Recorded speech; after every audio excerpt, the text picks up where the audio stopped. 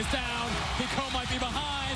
Picault in on Ivacic. Oh, he saved it again. Out of the four saves against the Dynamo last week in the nil-nil draw, three stupendous ones, of course.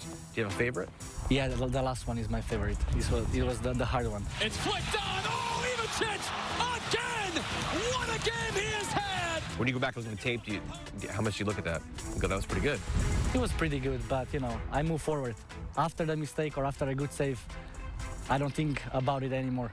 It's behind me. I'm, I'm just looking forward. Oh, Van Rankin, terrible giveaway. You saved not only road point, you saved a lot of goals. Saved by Ivacic. Big bailout from the keeper.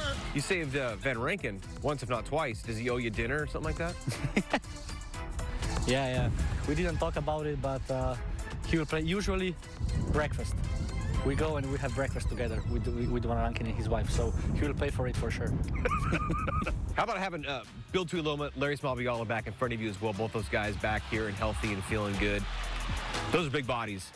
And your work is made easier most of the times with those guys in front of you. Can you speak to how that is to have those two dogs in front of you? Yeah, it's good to have them. I mean, we really have uh, good center backs, all four. They're amazing.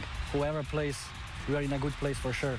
And they make it uh, easier for me, uh, that's for sure. You're a humble guy. Saw you in the post-game show.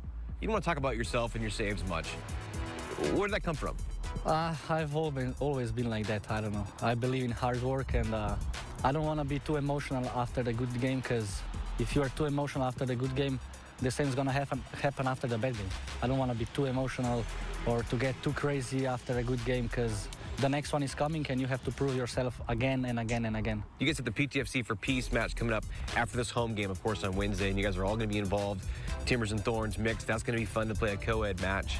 How important is that to you, though, to do what you can here as a MLS professional soccer player from across the globe to help those families and kids that have had to flee their home in Ukraine or, or who knows what they come back to if they ever can? What's your role in that? Yeah, uh, it's it's amazing to have opportunity like that to play to play a game like that. You know, having fun and at the same time to do something good for them. It's it's really it's a good feeling. You're doing something good for them, and it's hard to imagine how how do they feel. I mean, we are countries around them. We are all hoping it's not gonna get to our country. So it's I can't even imagine how is it for them. So I'm really glad that we can help them in some way.